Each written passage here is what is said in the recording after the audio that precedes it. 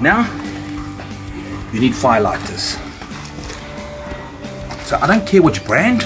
I'm not particular at any brand, whether it be charcoal, briquettes, or fire lighters, as long as you shop with the Cashback World Network.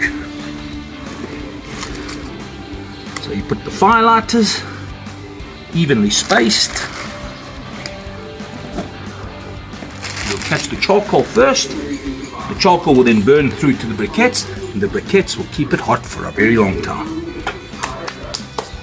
Right, now to light the fire.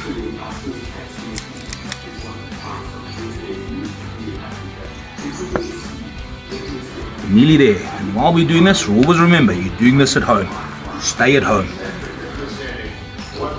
Okay, while the fire is going, you need some tools. You need a sharp knife, so whether it's sausage, chicken, or chops or, or steak, you need to cut to taste. With the braai, you need to taste. Secondly, you need tongs that you can turn the meat. And thirdly, oopsie, you need a little drink. Now, it could be white wine, it could be gin. When it's light, drink light. When it's dark, drink dark.